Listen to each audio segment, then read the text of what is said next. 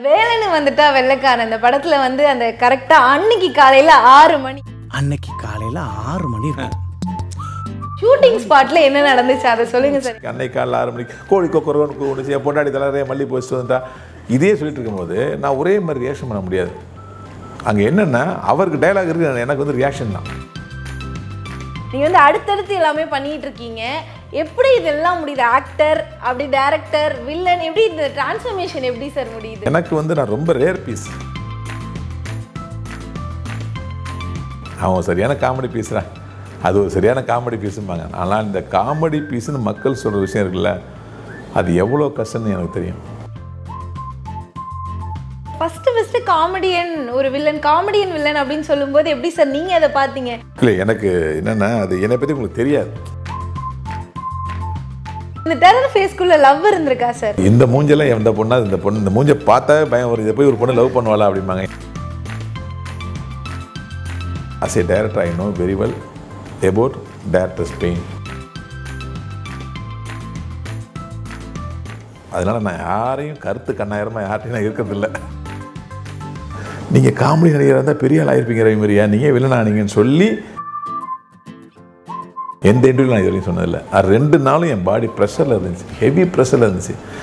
Last Vishnu விசாலில் இருந்து கதவை sir உடச்சி வரும்போது எல் சார் வந்து ரவி இப்போ என்ன பண்ணலாம்? அப்படின்னாரு. சார் இதுக்கு மேலே நான் டென்ஷன் ஆனால் எனக்கு பிரெயினில் போய் பிளட்டு வேகமாக போய் ஸ்ட்ரோக் வந்துடும் அழுகுறீங்களா? ஆமாம் சார். அவ்வளோதான் அதுக்கு மேலே முடியாது சார். சரி அழுகன்னாரு. அப்படிதான் அழுது. ஏன்டா இன்னும் ஒரு நிமிஷம் கழித்து வந்து நீ உள்ளே வந்திருந்தா? ஐநூறு கோடி எங்கேருந்து கண்டுபிடிச்சிருப்பேன்டா என்னை அவர் வந்து மனங்குத்தி பறவையில் வந்து காமெடி வேணா அறிமுகப்படுத்தினார். அண்ணாவுக்கு ஒரு வார்த்தை சொன்னார். நான் வந்து வில்லன் படங்களுக்குள்ளே தைரியமாக பார்த்துருவேன். காமெடியாக நடித்த படங்களை நான் போய் பார்க்க மாட்டேன். ஒரு இருட்டறையில் அவ்வளோ ஆடியன்ஸு ஒன்றா சேர்ந்து எல்லாருடைய மனசும் அதை ஒத்துழைச்சு கை தட்டினானா ஸோ இப்படி ஒரு படத்தை டைரக்ட் பண்ணிட்டு எல்லாரும் கேட்குற அதே கொஷின் தான். ஏன் இன்னும் டைரக்ட் பண்ணாமல் இருக்கீங்க? நெக்ஸ்ட்டு எப்போ டைரக்ட் பண்ணுவீங்களா மாட்டிங்களா? வணக்கம் நான் லோகு சுஜி இன்னைக்கு கதை போமா நிகழ்ச்சிக்கு நான் யாரை கூப்பிட்டு வந்திருக்கேன் அப்படின்னு பார்த்தீங்கன்னா இவர் வந்து ஒரு பெஸ்ட் வில்லன் அப்படின்னு சொல்லலாம்னா ஆமாம்மா நான் வில்லன்மா வெயில் படம் பார்த்தது இல்லையா நீ ஜெயில் பார்த்தது இல்லையா அப்படியே மிரட்டிடுவேன் அப்படின்ட்டாரு. நெக்ஸ்ட் அப்படியே டேரக்டர் அப்படின்னு பார்த்தா மிளகா படம் மாதிரி ஒரு ஸ்க்ரீன் ப்ளே இன்றைக்கும் வரல அப்படின்னு எல்லாருமே யோசிக்கிறோம். அண்ட் அடுத்து ரீசெண்டாக இடியட் படம் பார்த்தீங்கன்னு வச்சுக்கோங்களேன். இப்படி ஒரு காமெடியனா அப்படின்னு எல்லாரும் வாயை பழந்து பார்க்குற அளவுக்கு இப்போ தேட்டர்லாம் படம் சூப்பராக போயிட்டுருக்கு. ஸோ ஆக்டர் டேரக்டர் காமெடியன் வில்லன்னு சொல்லிக்கிட்டே போகலாம் போல் ரவி மரியா சார் தான் நம்ம கூட இருக்காரு. So welcome to the show sir வணக்கம் ஃபஸ்ட்டு நீங்கள் வந்து அடுத்தடுத்து எல்லாமே பண்ணிகிட்டு இருக்கீங்க. எப்படி இதெல்லாம் முடியுது? ஆக்டர் அப்படி டேரக்டர் வில்லன் எப்படி இந்த டிரான்ஸ்ஃபர்மேஷன் எப்படி சார் முடியுது? அதுக்கு முதல்ல உங்களுடைய ஐத்தமிழ் நம்முடைய ஐத்தமிழ் நேயர்களுக்கு அனைவருக்கும் ரவி மரியாவின் அன்பு வணக்கம். என்ன- என்ன முடியுன்றீங்களா? ஆக்சுவலாக வந்து காதல் தான் ஒரு எக்ஸாம்பிள் ஒரு பொண்ணை நம்ம தீவிரமாக காதலிக்கும் போது அந்த பொண்ணு செருப்பால் அடித்தாலும் வாங்கிக்குவோம். அந்த பொண்ணு வந்து நம்ம மேலே துப்புனாலும் வாங்கிக்குவோம். அந்த பொண்ணு நம்மளை எவ்வளோ கெட்ட வார்த்தை கூட அந்த பொண்ணு தொடர்ந்து என்ன பண்ணுவோம்? விரட்டி விரட்டி விரட்டி போய் அந்த பொண்ணை வந்து ஒரு நாள் என்ன பண்ணுவோம்? காதலிக்க வச்சே ஆகும் அப்படி தான் சினிமாவின் மேலே காதல் கொண்ட எல்லாராலையும் எல்லாரும் முடியும். அந்த காதலிக்கும் போது இருக்கிற அந்த அர்ப்பணிப்பு சினிமாவில் இருக்கும்போது இருந்ததுன்னா எதுவுமே முடியும். வில்லனாக நடிக்க முடியும் மக்களை மிரட்ட முடியும் அப்படியே காமெடியாக நடித்து மக்களை சிரிக்க வைக்க முடியும். வில்லனுக்கு கா வில்லனாகவே இருந்து காமெடி பண்ணி மிரட்டி சிரிக்க வைக்க ரெண்டும் ஒரே படத்தில் முடியும். இது எல்லாமே நம்ம வந்து சினிமாவை காதலிக்கணும். ரசிகர்கள் வந்து மனசை காதலிக்கணும். எந்த மாதிரி படங்களை வந்து ரசிகர்கள் விரும்புகிறாங்க என்ன மாதிரி விஷயங்கள் சொன்னால் அவங்களுக்கு சந்தோஷமாக இருக்கும்? அப்படிங்கிறத வந்து நம்ம வந்து பேப்பர் நியூஸ் வாயிலாக கரண்ட் அஃபேர்ஸில் இதெல்லாம் நிறைய பார்த்துட்டே இருந்தோம்னா எல்லாமே முடியும். எல்லாராலையும் முடியும். First of all congratulation sir idiot movie வந்து வேற லெவல் ஹிட்டு ஸோ குடும்பங்கள் எதிர்பார்த்த வெற்றி அப்படின்னு சொல்லுவாங்க. ஸோ அந்த லைனுக்கு எக்ஸாக்ட் எக்ஸாம்பிளாக இருக்குது அப்படின்னு நினைக்கிறேன். அதாவது இடியட் வந்து நாங்கள் வந்து இவ்வளோ பெரிய வெற்றி அடையணுங்க நாங்கள் உண்மையிலேயே எதிர்பார்க்கல. ஏன்னா இந்த கொரோனாவில் வந்து ஒரு ரெண்டு வருஷம் சினிமா தேட்டர் பக்கம் வந்து பெருசாக யாருமே போகல வயசானவங்க இருக்கிறதுனால வந்து இப்போ வயசானவங்க போக வயசானவங்க தேட்டருக்கு போகக்கூடாது ஓகே ஆனால் யங்கஸ்ட் தேட்டருக்கு போனால் கூட மறுபடியும் வீட்டுக்கு வரும்போது வய- வயசானவங்க இருக்காங்க இல்லையா? அதனால யங்கஸ்ட்டும் படத்துக்கு போக மாட்டாங்க சரி குழந்தைகளை கூட்டு போனால் குழந்தைங்க திரும்பி வரும்போது அதே வயசானவங்க வீட்டில் இருக்கும்போது பரவிடுவோம்னு பயம். ஸோ யாருமே சினிமாவுக்கு போய் பய தைரியத்தோடு போக முடியாத ஒரு சூழ்நிலை கடைசி ரெண்டு வருஷத்தில். சில படங்கள் வந்து பெரிய பஸ் அவுட் ஆனிச்சு நடுவில் கேப்பில் மாஸ்டர் விஜய் சாருடைய மாஸ்டர் படம் சிவகார்த்திகன் சாருடைய அந்த டாக்டர் படம்லாம் வந்து பெருசாக பெரிய லெவலில் கொண்டாடி பார்த்தாங்க. அதுக்கப்புறம் இந்த ரெண்டு வருஷத்தில் பெரிய மக்கள் கூட்டம் கூட்டமாக வந்து கைத்தட்டி படம் ஃபுல்லாக வந்து கத்தி விசிலடிச்சு கைத்தட்டிருக்க படம் ஒன்று இருக்கான்னா அது வந்து இடியட் தான். இதை நான் இடியட்டுக்கு முன்னாடி சொல்லலை. இப்போ ரிலீஸ் ஆகி இன்றைக்கி எட்டாவது நாள் ஆயிடுச்சு. இப்போ நான் சொல்கிறேன் ஏன்னா இந்த படம் விமர்சனங்களை தாண்டி உண்மையில் சொல்லணும். விமர்சனங்களை தாண்டி எனக்கு நான் இதுவரை எத்தனையோ படம் நடிச்சிருக்கேன். அந்தந்த படங்களில் இந்த ப- இந்த ப- இந்த படத்துக்கு அதிகமான ஃபோன் வருதேன்னு நினைப்பேன். அந்த அந்த நம் என்ன அதை இந்த எண்ணிக்கையெல்லாம் போக இந்த படத்துக்கு தான் மிக அதிகமான ஃபோன் எனக்கு. என்னங்க இப்படி சிரிக்க வைக்கிறீங்க அந்த படம்? படம் ஃபுல்லாக சிரித்தவங்க அதாவது வந்து கொரோனாவுக்கு அப்புறம் ரெண்டு வருஷம் டைட்டாக அந்த மைண்டு வந்து அப்படியே ஃப்ரீ ஆகிடுச்சு அப்படிங்கிறது எனக்கு இதுக்கு தான் படம் எடுக்கிறோம். மக்கள் ரசிக்கணும் கொண்டாடணும் அப்படின்னு. இப்போ நீங்கள் ஒரு வில்லன் சீன் நடிச்சுட்டு நம்ம மிரட்டுவோம். மிரட்டுறது பிடிக்குமா? பிடிக்காதான்னு நமக்கு அதை பற்றி கவலை கிடையாது. ஏன்னா அவங்க படம் பார்த்துட்டு இருப்பாங்க. ஆனால் காமெடி சீன் வந்து அவங்க சிரிச்சே ஆகணும். அப்போ தான் அந்த காமெடிக்கு மரியாதை. நான் பயந்து பயந்து தான் படம் பார்த்தோம். ஐயோ, மக்கள் சிரிக்கணுமே மக்கள் சிரிக்கணுமே. ஆனால் இப்படி சிரிப்பாக நான் எதிர்பார்க்கவே இல்லை இடியட் படத்துக்கு அது அத்தனை பெருமையும் ராம்பால் அவர்களே சாரும். அது முழுக்க முழுக்க அவருடைய பேனா தந்த பரிசு. ஸோ ஓகே சார் நெக்ஸ்ட் வந்து என்னன்னா ரீசெண்டாக ஜெயில் ரிலீஸ் ஆச்சு. அதில் வந்து அப்படியே ஒரு டெரர் கேரக்டரில் நடிச்சிருந்தீங்க. அண்ட் இப்போ வந்து பார்த்தீங்கன்னா இடியட் ரிலீஸ் ஆயிருக்கு ஒரு காமெடி கேரக்டர் ரெண்டும் பார்த்தீங்கன்னா டோட்டலாக வேற மாதிரி இருக்குது ஸோ இந்த மாதிரி யாருக்குமே அவ்வளோ சீக்கிரம் அமையாது. ஏன்னா ஒரு காமெடியாக நடிச்சிருப்பாங்க அவங்க வில்லனாக பண்ணுறாங்க அப்படின்றது ஓகே ஏன்னா நாகேஷ் சார்லாம் பார்த்தீங்கன்னா காமெடியாக நடிச்சிருப்பாரு. அண்ட் அதுக்கப்புறமா வில்லனாலாம் அபூர்வ சகதர்களில் நடிச்சிருந்தாரு. ஆனால் நீங்கள் பார்த்தீங்கன்னா ஒரு வில்லனாக நடிச்சிங்க அப்புறமா காமனை வில்லன் காமெடியனாக நடிச்சீங்க. அண்ட் அப்புறம் பார்த்தீங்கன்னா இப்போது ஒரு காமெடியனாகவே மாறிட்டீங்க. ஸோ இப்படி எப்படி சார் இந்த டிரான்ஸ்ஃபர்மேஷன் உங்களால் முடியுது? அது வந்து முதல்ல வந்து கடவுளுக்கு நன்றி. ஏன்னா எல்லாருக்கும் இந்த வாய்ப்பு கிடைக்காது. நம்ம பிரார்த்தனை போ எல்லாருமே சினிமாவில் பிரார்த்தனை பண்ணுவோம். நான் மேலே வரணும் முன்னுக்கு வரணும். ஒரு நடிகராக ஒரு டைரக்டராக ஒரு டெக்னீஷியனாக எல்லாரும் வேண்டிக்குவாங்க. எல்லாருக்குமே அந்த வரம் கிடைக்குமான்னு தெரியாது. எனக்கு வந்து நான் ரொம்ப ரேர் பீஸ் முதல்ல வந்து வில்லன் பீஸாக இருந்தேன். அப்புறம் காமெடி பீஸாக மாறினேன். வில்லன் காமெடி பீஸாக மாறினேன். இப்போ இப்போ இந்த இடியட்டுக்கு அப்புறம் ஃபுல் காமெடி பீஸாக மாறிட்டேன். வழக்கமாக இந்த காமெடி பீஸுங்கிறது ஒரு சாதாரணமாக ஒருத்தனுடைய ஒரு வேஸ்ட்டான ஒரு ஆளை வந்து சொல்கிற வார்த்தை தான் காமெடி பீஸ். கேள்விப்பட்டிருப்பீங்க. அவன் சரியான காமெடி பீஸ்ரா. அது ஒரு சரியான காமெடி பீஸும்பாங்க. ஆனால் இந்த காமெடி பீஸுன்னு மக்கள் சொல்கிற விஷயம் இருக்குல்ல அது எவ்வளோ கஷ்டம்னு எனக்கு தெரியும். காமெடி பண்ணுறது வந்து எவ்வளோ கஷ்டம்னு அணு அணுவாக ஸ்கிரிப்டில் வந்து பிள்ளையார் சொல்லி போகிறதுல இந்த படம் ரிலீஸ் ஆகிற வரைக்கும் அந்த காமெடி ஒர்க் அவுட் ஆகணும் டேரக்டர்களும் ரைட்டர்ஸும் படுற பாடு அதை நடிகர்கள் கரெக்டாக அந்த டைமிங் அடிக்கல இந்த காமெடி செத்து போகும். அப்போது அந்த க- நம்மளை இன்றைக்கி காமெடி பீஸ்னு சொல்லிட்டாங்க நான் பெருமைப்படுறேன். என்னை முதல்ல வில்லன் சொன்னாங்க டைரக்டர்னு சொன்னாங்க அப்புறம் வில்லன் சொன்னாங்க அப்புறம் காமெடி வில்லன்னாங்க இன்றைக்கி ரவிமரியா காமெடி காமெடினாவே மாட்டேன்றாங்க. நான் காமெடி பீஸ் என்பதில் மிக பெருமை எடுக்கிறேன் சீரியஸாகவே ஏன்னா இது வந்து அவ்வளோ சீக்கிரம் இந்த போஸ்டிங் கிடைக்காது. எனக்கு பார்த்தீங்கன்னா ஒரு அரசியலில் வந்து எம்எல்ஏ இருந்துட்டேன் எம்பியாக இருந்துட்டேன். புரியுது அவங்களுக்கு ஒரு சீஃப் மினிஸ்டர் இருந்துட்டேன். அப்படிங்கிற மாதிரி ஒரு மூணு போஸ்ட் கிடைச்சா அப்புறம் அந்த மாதிரி எனக்கு சினிமாவில் வில்லன் காமெடி வில்லன் குணச்சித்திர நடிகர் இப்போ காமெடியன் எனக்கு உண்மையிலே காட்ஸ் gift தான். இதுக்கு மேலே இந்த வாய்ப்பை வழங்கிய இயக்குனர் வசந்த பாலன் என்னை வில்லனாக்குனார். இயக்குனர் எழில் சார் வந்து என்னை வந்து காமெடி வில்லனாக்குனார். இப்போ ராம்பாலா சார் வந்து என்னை ஃபுல் காமெடி ஆகியிருக்காரு இவங்க அத்தனை பேருக்கும் என்னுடைய மனமார்ந்த நன்றி. ஸோ ஃபஸ்ட்டு ஃபஸ்ட்டு காமெடியன் ஒரு வில்லன் காமெடியன் வில்லன் அப்படின்னு சொல்லும்போது எப்படி சார் நீங்கள் அதை பார்த்தீங்க? நம்ம காமெடி பண்ணிடுவோம்னு நினச்சிங்களா? இல்லை எனக்கு என்னென்னா அது என்னை பற்றி உங்களுக்கு தெரியாது. நம்ம ஒரு முரட்டு உருவத்தில் ஒரு குழந்தை. ஆமாம் ஆமாம் ஆமாம் ஆக்சுவலாக வந்து என்னை தெரியாதவங்களுக்கு வந்து அது பெரிய வியப்பாக இருக்கும். என்ன இவர் முரட்டு உருவத்தில் இப்படி காமெடி பண்ணுறாரு அப்படின்னு சொல்லி தோணும். அதில் என்னை அறிஞ்சவங்களுக்கு தெரியும். நான் பயங்கரமான ஒரு காமெடியான ஆள்.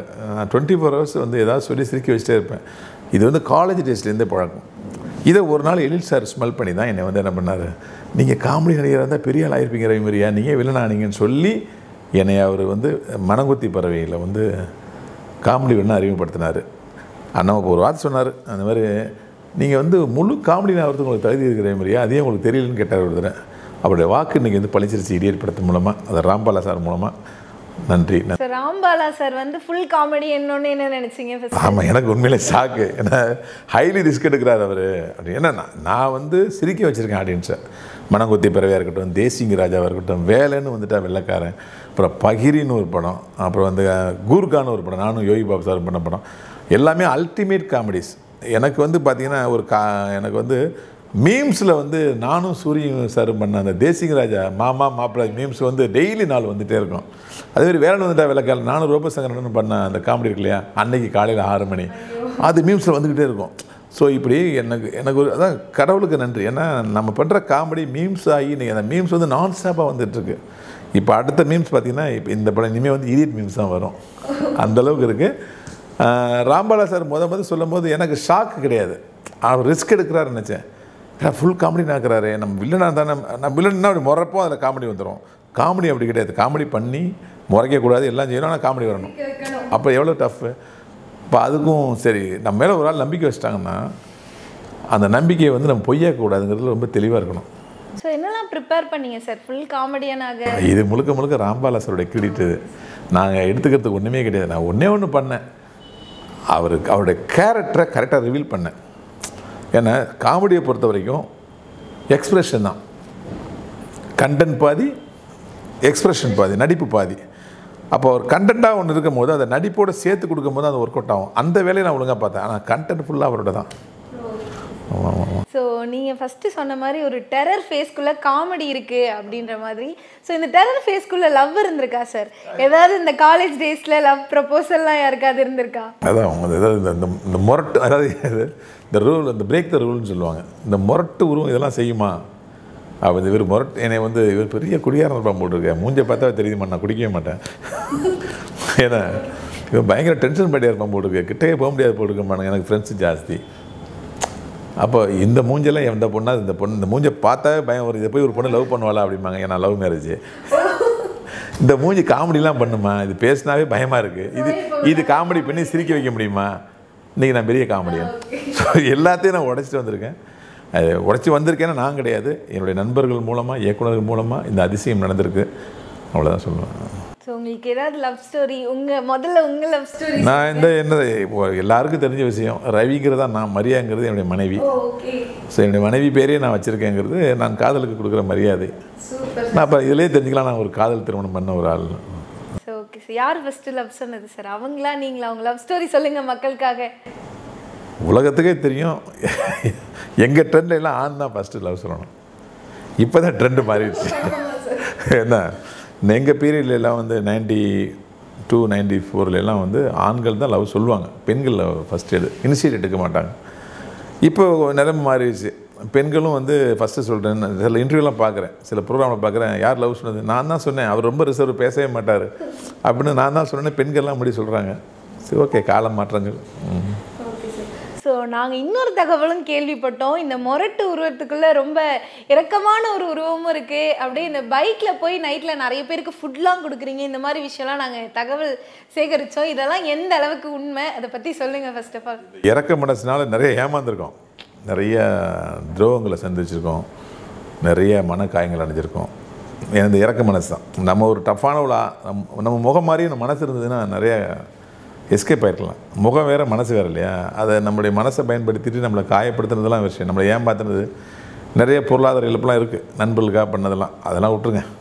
இந்த மனிதர்களுக்கு பண்ணுறது வந்து அது நட்பு நட்போட்டம் அதெல்லாம் மனிதர்களுக்கு மனிதர்களுக்கு ஹெல்ப் பண்ணுறதுக்கு ஆள் இருக்காங்க. நான் இல்லைன்னு இன்னொரு ஆள் பண்ணிடுவான். அவன் இல்லை இன்னொரு ஆள் பண்ணிடுவான். இங்கே மனிதர்களுடைய எண்ணிக்கை அதிகம். ஆனால் இந்த பூமியில் படைக்கப்பட்ட விலங்கு நம்ம நம்ம நாட்டில் அதாவது நம்ம காட்டில் விலங்குலாம் சொல்லலை. காட்டு விலங்குகளுக்கு கடவுள் வந்து அங்கங்கே வந்து புலிக்கு மானம் படைச்சிருக்காரு மானுக்கு புல்லை படைச்சிருக்காரு. புரியுதா? ஆனால் இங்கே வளர்கிற அந்த நம்ம ஊரில் வளர்கிற அந்த பூனைகளுக்கு யார் சாப்பிட கடவுள் எதாவது ஃபுட்டு படைச்சிருக்காரா? இங்கே வளர நாய்களுக்கு கடவுள் எதாவது ஃபுட்டு படிச்சிருக்காரா? மனிதன் அதுக்கு சோறு போடுவான். மனிதன் வந்து நீ நான் மனிதன்ற நன்றவன் நன்றியவன் நன்றியோட நடந்துக்க அவன் வந்து உனக்கு சோறு போடுவான்னு சொல்லி தான் கடவுள் என்ன பண்ணுறான் நம்ம கூட வந்து செல்லப்பிராணிகளை உழவு விட்டுருக்கான். ஆனால் நம்ம வந்து நாயை பார்த்தா கல்லெடுத்து அடிக்கிறது. அதுக்கு நான் எல்லோரும் சொல்ல ஒரு பத்து பர்சன்ட் பீப்புள் வந்து பெட்டனிமின் மேலே ரொம்ப பிரியமாக இருக்காங்க. பெட்டனிமுக்காக அழுகிறவங்க வெளியூரே போகாமல் பெட்டனிமுக்காக வீட்டுக்குள்ளேயே இருக்கிறவங்க நான் எவ்வளோ பேரை பார்த்துருக்கேன். இந்த உலகம் மிருகங்க அந்த செல்லப்பிராணிக்காகவும் படைக்கப்பட்டதுங்க விஷயத்தை மறந்துடுறோம். தெருநாயாக இருந்தால் வந்து கல்லெடுத்து அடிக்கிறது. ஒரு ந- ரெண்டு நாள் எழுதுனா கார்பரேஷன் சொல்லி தூக்கிட்டு போங்க ஒரே நைட்டு ஃபுல்லாக குலைக்குதுன்னு சொல்கிறது ஏன்னா அதுக்கு லேசாக புண்ணு வந்தால் கூட இது நமக்கு பரவி வரும்னு பயப்படுறது. அந்த அவேர்னஸே கிடையாது. ரேபிஸ் வேறு சொறி வேறு. சொறி இருந்தாவே ரேபிஸ்ன்னு நினைக்கிறது.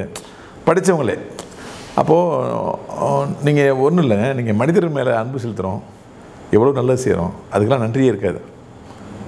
இருக்கும் இல்லாமல் இருக்கும். ரெண்டுமே இருக்கும். ஆனால் ஒரு விலங்குகளுக்கு ஒரு நாள் சோறு போட்டு பாருங்களேன். பின்னாடி வரும் கிடையாதா? பின்னாடி இல்லை வருதில்ல. உங்கள் மேலே அதை வந்து நிமிஷம் நிமிஷம் அன்பு செலுத்துறதை உங்களால் உணர்ந்துகிட்டே இருக்க முடியும். இந்த மனிதர்கள் வந்து நிறைய பேர் சூசைட் பண்ணிக்கிறாங்க. நான் யாருக்காக வாழ்கிறேனே தெரிலங்க நான் எவ்வளோ நல்ல செஞ்சாலும் வந்து எனக்கு துரோகம் தான் நினைக்கிறாங்க. நான் யாருக்காக வாழ்கிறேனே தெரில அப்படின்னு. நீங்கள் செல்ல பிராணிகளாக வாழ்ந்து பாருங்களேன். உண்மையிலே ஒரு வாழ்க்கையில் உங்களுடைய அர்த்தம் தெரியும். நீங்கள் கஷ்டப்பட்டு சம்பாதிக்கிற காசை ஒரு உணவாக மாற்றி அந்த செல்ல பிராணிக்கு போடும்போது அது கண்ணில் காட்டும் அன்பு. அந்த அது மிகப்பெரிய போதை. அந்த போதையை நீங்கள் அனுபவிச்சிங்கன்னா உங்களுக்கு எல்லாமே ஈஸி நைட்டு போய் நான் எல்லாம் சொல்லுவாங்க என்ன சார் டவுசரை போட்டு டிஷர்ட்டை போட்டு நீங்கள் பாட்டு டூ வீலரில் போய் சுற்றிட்டு இருக்கீங்க? நாங்கள் டெய்லி பார்க்குறோன்னு சொல்லுவாங்க. அது எனக்கு மனம் சந்தோஷப்படி ஒரு சினிமா எப்படி சந்தோஷம் தருதோ அது மாதிரி இரவு நேரங்களில் தெருநாய்களுக்கும் பூனைகளுக்கும் சாப்பாடு போகிறது எனக்கு ஒரு சந்தோஷம் கொடுக்குது. சந்தோஷம் எனக்கு மட்டும் இல்லை அதை செய் என்னை விட ஒரு ஒருத்தங்க இருக்காங்க ஒரு லேடி ஒருத்தங்க இருக்காங்க. ரெண்டு மணி வரைக்கும் நைட்டு சுற்றுவாங்க நானாக ஒரு- நான் வந்து நானாவது ஒரு நாலு நாய் ஒரு எட்டு பூனை. அவங்களாம் நாற்பது நா நாய் ஐம்பது பூனைக்கு போடுவாங்க. ஒரு ஐம்பது லிட்டர் பாலை வந்து அரை லிட்டர் பாலாக கவரில் வச்சு டூவீலில் வச்சுட்டு ஒன்றுனா ஊற்றிட்டு போவாங்க. இப்போ அவங்களுடைய மனசு யோசிச்சு பாருங்கள் இந்த உலகம் எல்லோருக்கும் படைக்கப்பட்டது அப்படிங்கிறத உணரணும். முக்கியமாக இந்த வெயில் காலங்களில் வந்து நான் எங்கள் ஏரியாவில் வந்து த சிமெண்ட் தொட்டி வச்சு தண்ணி ஊற்றிட்டு போவேன். அது குடிக்கட்டுன்னு சொல்லிட்டு. அதை வந்து கவுத்து விட்டுருவானுங்க. தண்ணியை தட்டி விட்டு கவுத்து வச்சுருவானுங்க. மறுபடியும் நான் போய் அதை திமித்து மறுபடியும் மறுநாள் தண்ணி ஊற்றிட்டு போவேன். மறுபடியும் கவுத்துருவானுங்க.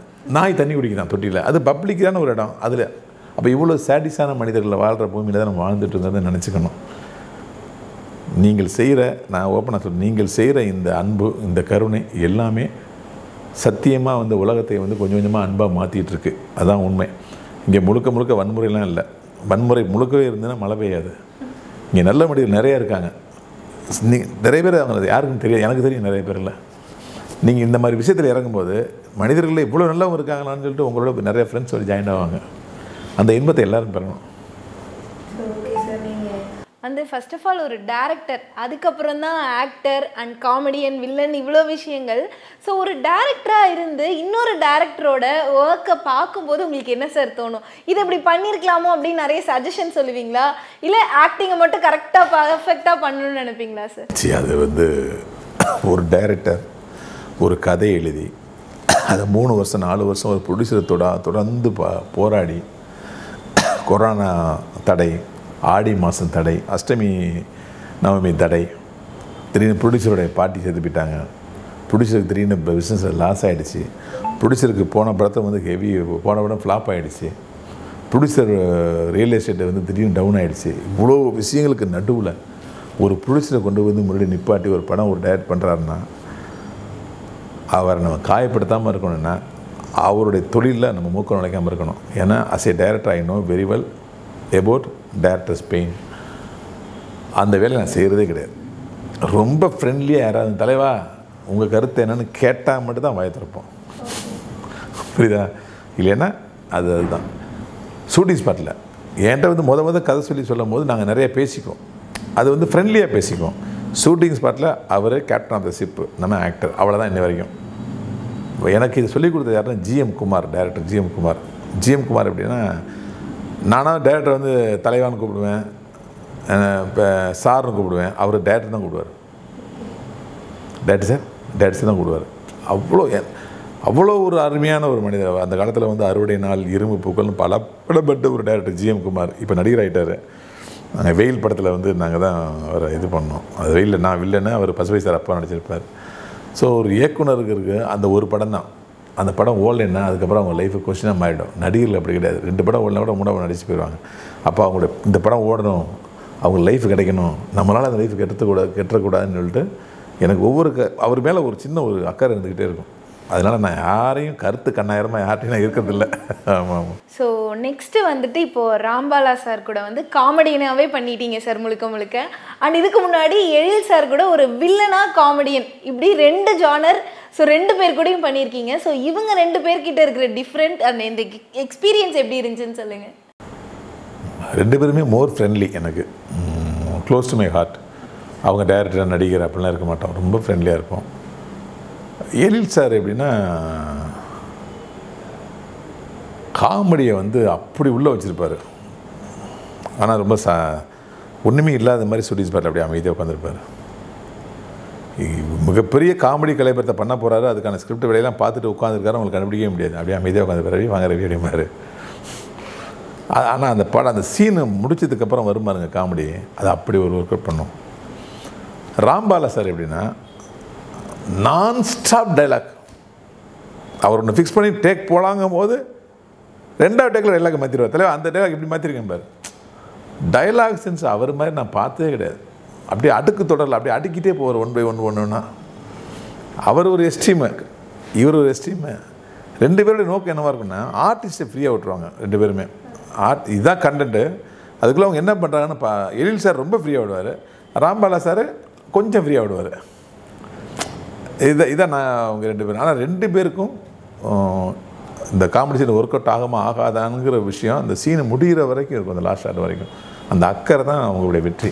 ஸோ வந்து எழில் சார் அப்படின்னோடனே நான் பர்டிகுலராக உங்ககிட்ட இந்த சீன் பற்றி கேட்கணும் அந்த வேலைன்னு வந்துட்டா வெள்ளைக்காரன். அந்த படத்தில் வந்து அந்த கரெக்டாக அன்னைக்கு காலையில் ஆறு மணி அந்த சீன் இருக்குது பார்த்தீங்களா அந்த ஷூட்டிங் ஸ்பாட்டில் என்ன நடந்துச்சு? அதை சொல்லுங்கள் சார் ஏன்னா அந்த சீன் இன்ன வரைக்கும் வீட்டில் எப்போ வந்தாலும் சிரிச்சுக்கிட்டே தான் இருப்பாங்க. ஸோ அந்த அளவு ஃபன்னு ஸோ அந்த ஷூட்டிங் ஸ்பாட் எந்த அளவு ஃபன்னாக இருந்திருக்கும் சார் அது வந்து உண்மையிலே ஃபன்னாக இருந்துச்சு.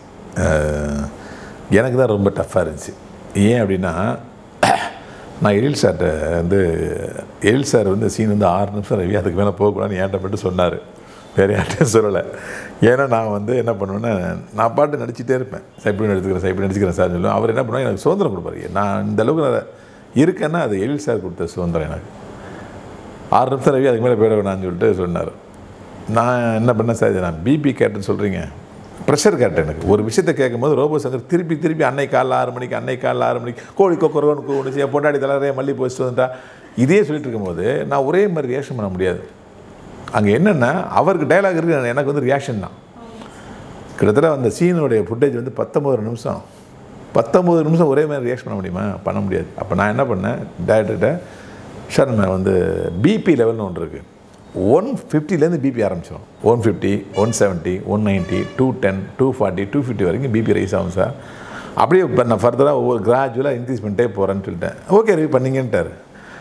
எனக்கு அந்த ரெண்டு நாள் ஷூட்டிங் அது. ரெண்டு நாளும் பாடியில் நரம்பு அப்படியே முறுக்கிட்டே இருக்கும். முறுக்கேறி முறுக்கே லூஸ் ஆகும் முறுக்கேறி முறுக்கே லூஸ் ஆகும். டோட்டல் ப்ரெஷர் என் பாடியில் இருந்துச்சு. எந்த இன்டர்வியூ நான் இது வரைக்கும் சொன்னதில்லை. அது ரெண்டு நாளும் என் பாடி ப்ரெஷரில் இருந்துச்சு. ஹெவி ப்ரெஷரில் இருந்துச்சு. லாஸ்ட்டு விஷ்ணு விசாலில் கதவை சார் உடச்சி வரும்போது எல் சார் வந்து ரவி இப்போ என்ன பண்ணலாம்? அப்படின்னாரு. சார் இதுக்கு மேலே நான் டென்ஷன் ஆனால் எனக்கு பிரெயினில் போய் பிளட்டு வேகமாக போய் ஸ்ட்ரோக் வந்துடும் அதுக்கு மேலே டை- எனக்கு டோட்டல் டைட் பண்ணியாச்சு. இப்போ நான் அழுதுறேன் சார். அப்படின்னு. அழுதுறீங்களா? ஆமாம் சார் அவ்வளோதான் அதுக்கு மேலே முடியாது சார். என்ன. சரி அழுகன்னாரு. அப்படி தான் அழுது. ஏன்டா இன்னும் ஒரு நிமிஷம் கழித்து வந்து நீ உள்ளே வந்திருந்தா? ஐநூறு கோடி எங்கன்னு கண்டுபிடிச்சிருப்பேன்டா. மறுபடியும் உழைச்சி சம்பாதிக்க வச்சிட்டீங்களா சொல்லிட்டு அழுதுகிட்டே சொல்கிறேன் அந்த சீன் ஒர்க் அவுட் ஆனுச்சு. அந்த சீனு வந்து பயங்கரமாக ஒர்க் அவுட் ஆகுற விஷயம் வந்து ஷூட்டிங் ஸ்பாட்டில் அப்படி கண்ணால் தெரிஞ்சுது எங்களுக்கு.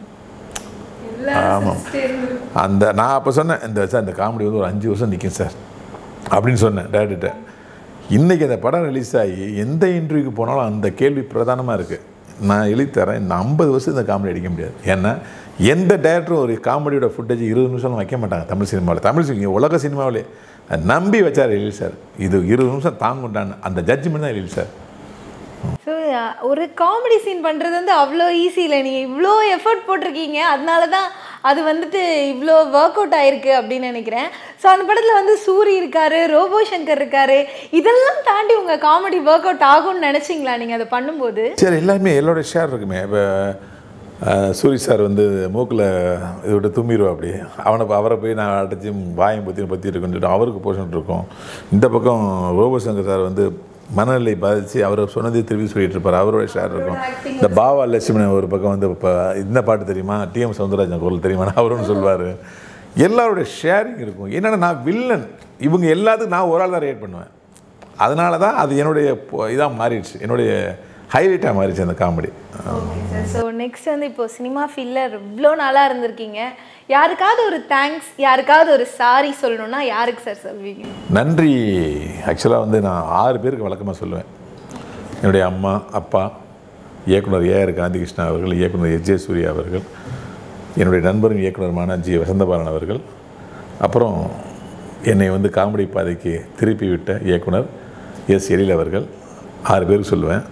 இனி வந்து லிஸ்ட்டு ஏழாயிடுச்சு. ஏன்னா என்னை முழுக்க முழுக்க காமெடி நாக்கின பெருமை இயக்குனர் ராம்பால விசாரம் அவருக்கு என்னுடைய மனமார்ந்த நன்றி. ஸோ ஏழு பேருக்கு வாழ்நாள் பூரா நன்றி சொல்கிற அளவுக்கு இன்றைக்கி லிஸ்ட்டில் ஒரு ஆள் கூட சேர்ந்துருக்காங்க. அதுக்காக மற்றவங்களுக்கு நன்றி இல்லையா அப்படின்னு கிடையாது. அந்த நேரத்தில் அவங்களுக்கு நன்றி சொல்லியிருக்கேன். மனசாரவும் சொல்லியிருக்கேன் அதுவும் சொல்லியிருக்கேன். இது வாழ்நாள் நன்றி. வாழ்நாள் சாதனையாளர் விருது மாதிரி வாழ்நாள் நன்றி. இந்த வாழ்க்கை எப்படி கிடைத்தது? இந்த முன்னேற்றம் எப்படி கிடைத்தது? நமக்குள்ளே ஒரு கேள்வி வரும்போது அதுக்கு பதிலாக அவங்க இருக்காங்க. ஸோ அதனால் அவங்களுக்கு நன்றி. சாரின்னு. நான் மேக்ஸிமம் யாரையும் நானாக காயப்படுத்துனது கிடையாது. என்னுடைய சவுண்டு வேகமாக இருக்கும். சரி போங்க அப்படிமே சரி சீக்கிரம் வாங்க அப்படிம்பேன் அவளை. அந்த கொஞ்சம் சீக்கிரம் வரீங்களா? "ஆ, சரி நீங்கள் போங்க அப்படின்னு சொல்லலாம். ஆனால் நான் என்னுடைய குரல் வந்து என்னுடைய நேச்சர் அவள் வேகமாக சொல்லியிருப்பேன். அதில் நிறைய பேர் கரெக்டாக இருப்பாங்க ஆனால் நான் எந்த ஒரு கெட்ட வார்த்தையும் பிரயோகப்படுத்த மாட்டேன்.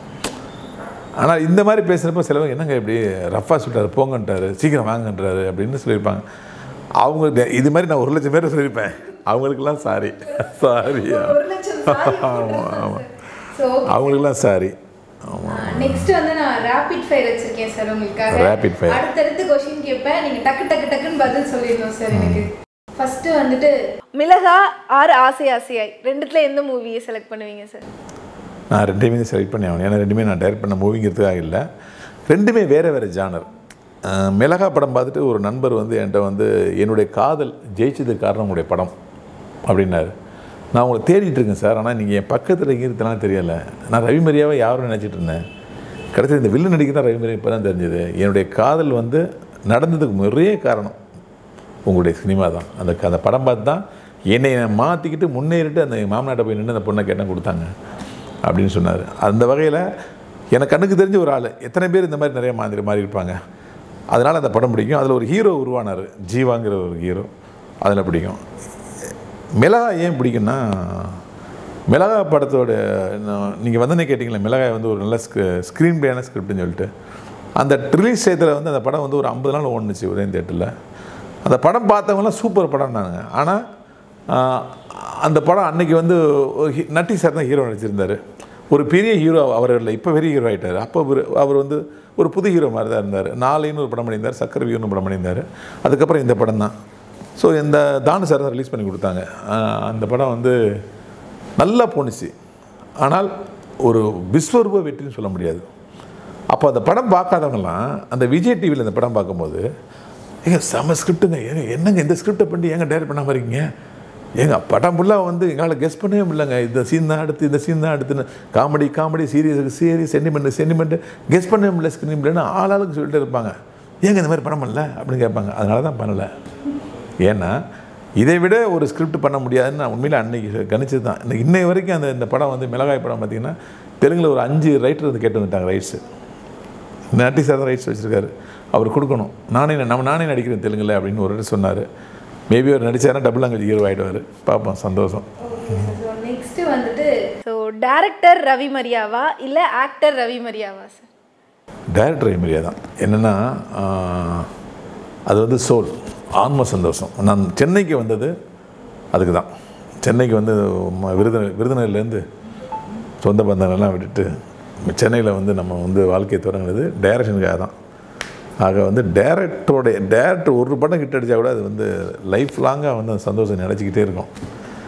நடிப்புக்குன்னு பார்த்தீங்கன்னா அந்த படம் ரிலீஸ் ஆகி ஒரு ஒரு வாரம் சந்தோஷம் இருக்கும். அடுத்த படம் ஜம்ப் ஆகிடும் ஆனால் நடிப்பு என்பதை கடவுள் எல்லாத்துக்கும் கொடுக்க மாட்டாங்க.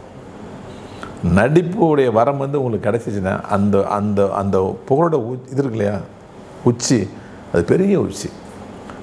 இதை வந்து நான் வந்து நிறைய பேர் நடிக்கணுன்னே வந்து முயற்சி பண்ணி நடிக்கிறாங்க நான் சத்தியமாக நடிக்கணும்னு ஒரு செயல் கூட நினச்சதில்லை இயக்குனர் வசந்தப்பான என்னோட வாழ்க்கையோட ஸ்டேரிங்கை மாற்றி விட்டார். உண்மையை சொல்லப்போனால் ஆத்ம சந்தோஷம் ஏ இயக்குனர் ரவிமரியா தான். ஆனால் வாழ்க்கையை உயர்த்து கொண்டு போனது நடிகர் ரவிமரியா தான். ஸோ நெக்ஸ்ட்டு வந்து ஆக்டருக்குள்ளே போயிட்டோம் நம்ம இப்போ. காமெடியனா வில்லனா சார் எதையுமே நான் கணிக்கலம்மா. ஆக்சுவலாக இப்போதைக்கு காமெடி ரூட்டு வேறு மாதிரி போயிட்டுருக்கு. அதில் வந்து ஒரு பெரிய ஒரு என்ன ஒரு ஹார்வெஸ்ட் இருக்குன்னு நினைக்கிறேன்.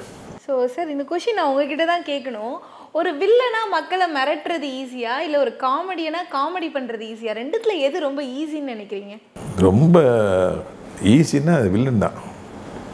கையில் அருவா தேவையில்ல துப்பாக்கி தேவையில்ல கண்ணை அப்படி உருட்டி அந்த சீக்வன்ஸில் வந்து உன்னை போட்டு தள்ளிடுவேன். இதுக்குள்ளே நீ வரக்கூடாது. வேலை முடிஞ்சுது. படம் பார்த்துட்டு இருக்கவங்க வந்து சரி வில்லன் வராரு ஹீரோ மாட்டிகிட்டு போகிறாரு ரைட் இதில் ஏதாவது ரிஸ்க் இருக்கா உங்களுக்கு? வந்தோமா மிரட்டணுமா போனோமா புரியுதா உங்களுக்கு வில்லன் ஒழுங்காக மிரட்டல்னு யாராவது சொல்ல போகிறாங்களா வில்லன் வந்துட்டு போனார் கதை வந்து மூவ் ஆகலன்னு யாரும் சொல்ல போகிறாங்களா ஆனால் ஒரு காமெடி நாங்கள் வந்தால் ஃப்ரேமில் வந்து நின்றுட்டா தேட்டரில் ஐநூறு பேர் இருந்தாங்கன்னா குறைஞ்சது நூறு பேர் கைத்தட்டியே ஆகணும். அப்போ தான் அந்த காமெடியனுக்கு அந்த காமெடிக்கு மரியாதை. அப்போ எந்த ரிஸ்க் ஜாஸ்தி? காமெடியனில் தான் கண்டிப்பாக காமெடி தாங்க ரொம்ப கஷ்டம். இந்த காம் நான் வந்து வில்லன் படங்களுக்குள்ளே தைரியமாக பார்த்துருவேன். காமெடியாக நடித்த படங்களை நான் போய் பார்க்க மாட்டேன். அமைதியாக உட்காந்து ஒவ்வொரு வர ஃபோனாக வரும்ல படம் எப்படி பாஸ் இருந்துச்சு மாப்பிள்ளை எப்படி படம் இருந்துச்சு அந்த காமெடி ஒரு கூட்டம் இருந்துச்சு கேட்டு கேட்டு வாங்கிட்டு அதுக்கப்புறம் தேட்டருக்கு போவேன். அவ்வளோ பயம் காமெடியானா காமெடி வந்து ஒர்க் அவுட் பண்ணுறது அவ்வளோ ஈஸி கிடையாது. ரைட்டர்ஸு டைரக்டர் ஆக்டர் எல்லாம் சேர்ந்து அந்த அந்த ஒரு ஒரு மிக்சப்பில் தேட்டரில் நிற்கும் போது ஒரு இருட்டறையில் அவ்வளோ ஆடியன்ஸு ஒன்றா சேர்ந்து எல்லாருடைய மனசும் அதை ஒத்துழைச்சு கைத்தட்டினானா அது அதுதான் காமெடி அதை ஒர்க் அவுட் பண்ணது எவ்வளோ கஷ்டம்? ஓகே சார் நெக்ஸ்ட் வந்துட்டு வேலைன்னு வந்துட்டா வெள்ளைக்காரனா? இல்லை இடியட்டா சார் நீங்கள் ரேபிட் பேருன்னு சொல்லிட்டு எதையுமே ஒரு பதில் சொல்ல முடியாத அளவுக்கு வச்சுருக்கீங்க. எனக்கு எல்லாமே ரெண்டு கண் அதுதான் சார் ரேபிட் ஃபயர் நீங்கள் ஒன்று டக்குன்னு சொல்ல வேண்டியதாக இருக்கும். சொல்ல முடியாது. ஏன்னா நீங்கள் வேலை வந்துட்டா வெள்ளக்காரனை பற்றி ஒரு பெரிய நீங்கள் இதே கேட்டீங்க என்கிட்ட. பெரிய சார் அந்த காமெடி அன்னைக்கு காலையில் ஆறு மணி காமெடி எப்படி சார் அது எத்தனை அந்த ஷூட்டிங் ஸ்பாட் எப்படி சார் இருந்துச்சுன்னு. அப்போ வியக்கிற அளவுக்கு இருக்கிற படத்தை நான் எப்படி வந்து வேலை வந்துட்டாருன்னு சொல்லாமல் இருக்க முடியும். அப்புறம் இந்த இன்டர்வியூ நீங்கள் கூப்பிட்டதே இடியட்டில் வந்து உங்கள் காமெடி வேறு லெவல் சார். ஃபுல் காமெடினாவே ஒர்க் அவுட் பண்ணிட்டீங்க அப்படின்றீங்க நான் அப்புறம் எப்படி இடியட்டை வந்து மறுக்க முடியும்? ஸோ எல்லாமே ரெண்டு கண் கொஸ்டினாக இருக்குது ரேபிட் ஃபயரில் மாட்டி விடுற மாதிரி தான் சார் கொஸ்டின் மாட்ட மாட்டோம்ல? ஸோ இப்போ நீங்கள் ரெண்டுத்துல ஒன்றும் சொல்ல மாட்டீங்களா சார். ஆச்சிச்சி நீங்கள் உங்கள் கேள்வியை பொறுத்து இருக்கு. ஓகே சார் சார் இப்போ இது ரெண்டுத்துல வேலைன்னு வந்துட்டா வெள்ளைக்காரன் ஆர் ரெண்டுமே தான். ரெண்டுமே தான் சார் அன்னைக்கு அன்னைக்கு அது இன்னைக்கு இது சொல்ல மாட்டேன். ரெண்டுமே என்னுடைய லைஃப்பை வந்து வேறு டைமென்ஷனில் மாற்றி விட்ருக்கேன் ஸோ ஓகே சார் ஸோ இது வந்து எனக்கு ஃபைனல் கொஷின் சீரியஸாகவே என்னோட கொஷின் ஃபேவரட் கொஷின் நினைக்கிறேன். மிளகா மாதிரி ஒரு ஸ்க்ரீன் ப்ளே வந்து சீரியஸாக யாராலையும் எக்ஸ்பெக்டே பண்ண முடியாது. அந்த எண்டிங் வாஸ் கிளைமேக்ஸ் இப்போ பார்த்தாலும் ஓ இப்படியா இப்படியா இருந்துச்சு அப்படின்ற மாதிரி ஒரு ஷாக்கிங் ஸோ இப்படி ஒரு படத்தை டைரக்ட் பண்ணிட்டு எல்லாரும் கேட்குற அதே கொஷின் தான். ஏன் இன்னும் டைரக்ட் பண்ணாமல் இருக்கீங்க? நெக்ஸ்ட் எப்போ டைரக்ட் பண்ணுவீங்களா மாட்டிங்களா? இது நான் இன்னும் எழுபது வயசு ஆயிடுச்சு எனக்கு.